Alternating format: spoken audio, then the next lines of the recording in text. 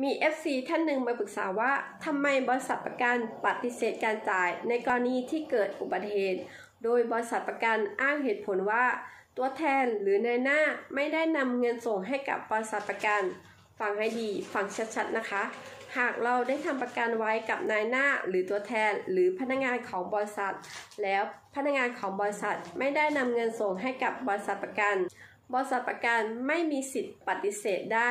เพราะความคุ้มครองได้เกิดขึ้นแล้ว ตั้งแต่ผู้เอาประกันภัยได้ชำระเบี้ยประกันให้กับบริษัทเรียบร้อยแล้ว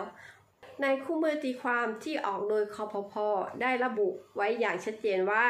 กรมธรรม์ประกันภัยนี้มีผลบังคับทันที เมื่อผู้เอาประกันภัยได้ชำระเบี้ยประกันภัยแล้ว การชำระเบี้ยประกันภัย ให้แก่ตัวแทนประกันวินาศภัย